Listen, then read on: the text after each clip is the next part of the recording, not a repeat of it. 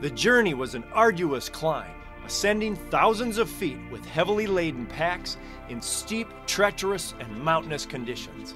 We passed through a labyrinth of crevasses and avalanche threats that were looming nearly everywhere around us.